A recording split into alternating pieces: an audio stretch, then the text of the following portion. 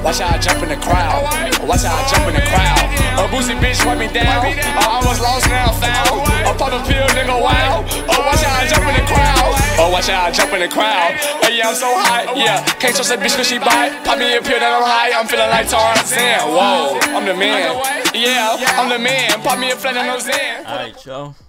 It's that. It's that, man. It's that, man. We here with another video for y'all. I'm on my point forward right now because I wanted to show y'all a little a little trick I could do. So we shoot. We here, man. Dub. This is a dribble cheese move, man. Yo, I'm pretty sure y'all already know about this. This been out for a while. That's it right there. I'm gonna teach you guys how to do it. So you guys, you know, if y'all want to cheese, we out here together, man. A lot of people can't stop this, man. A lot of people cannot stop this at all.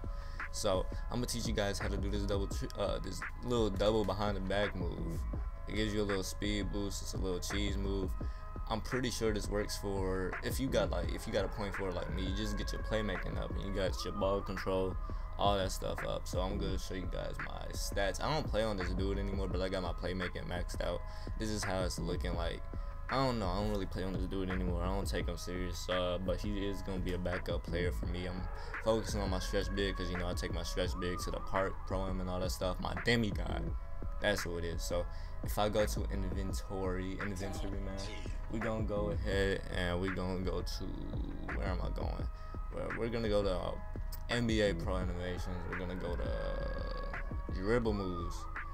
Dribble moves. Here they are, man. This is what you need. What the hell? Oh, okay.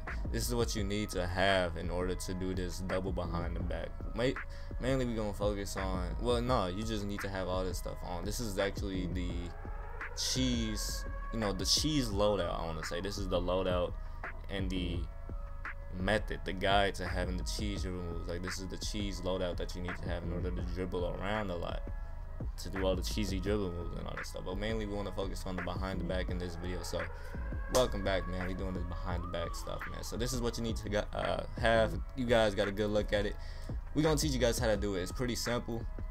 If you stand at the top of the key, you just want to do double flick backwards of the right stick, and it will do that.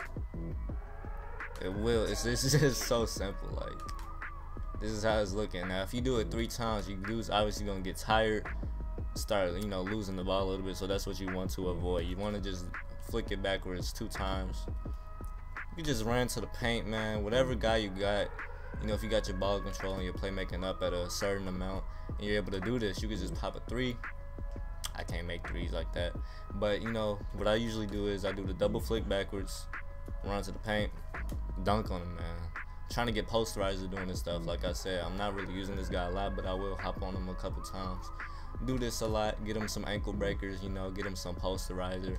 Just run into the paint doing this stuff. So that's what's nice about it, man. This cheese dribble move does give you a speed boost. A lot of people cannot handle it, man. If you take this to the park, do a little crossover like that, run to the paint, it's pretty simple.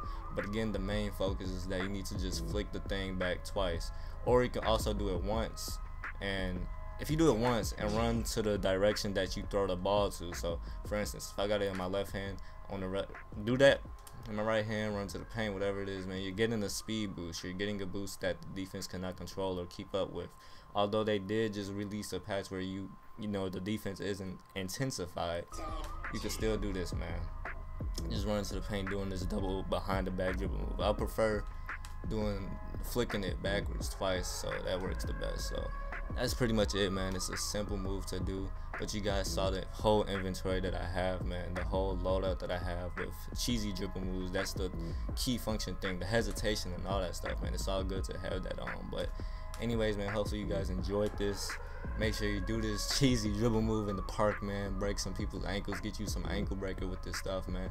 Do it to them do it to man it's StevGotRange, man. Thank y'all for watching. Make sure you subscribe if you have not subscribed yet. Drop a like on this video if you enjoyed and it really did help you out. Just a little simple, easy, cheesy dribble move for you guys to do, man.